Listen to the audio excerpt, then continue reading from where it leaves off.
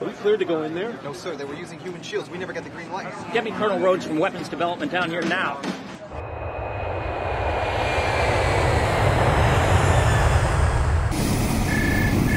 Hello. You sure you don't have any tech in that area I should know about? Nope.